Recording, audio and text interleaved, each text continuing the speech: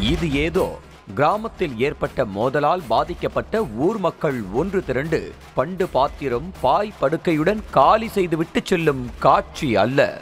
ஆண்டுக்கு ஒரு நாள் ஊரை விட்டு காலி செய்து ஊருக்கு வெளியே தங்கியிருக்கச் செல்லும் காட்சிதான் இது. திருவண்ணாமலை மாவட்டம் ஆரணி அருகே உள்ள கிராமம் இந்திரவனம்.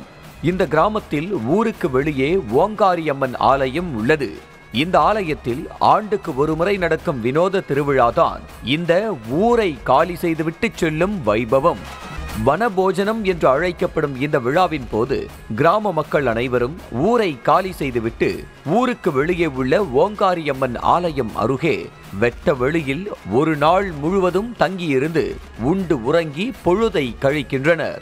ஊரை காலி செய்வதில் யாருக்கும் விதிவிலக்கு என்பது கிடையாது. அனைத்து உயிரினங்களும் ஊரை காலி செய்ய வேண்டும் என்பது ஐதீகம். அவ்வாறு ஊரை விட்டு செல்லும்போது ஓங்கார் எம்மனுக்கு சிறப்பு பூஜைகள் செய்து வழிபாடு நடத்திய பின்னர் மேளதாளம் முழங்கிட ஊருக்குள் அழைத்து வரும்போது அம்மனுடன் ஊருக்குள் நுழைகின்றனர் இந்திரவனம் கிராம மக்கள்.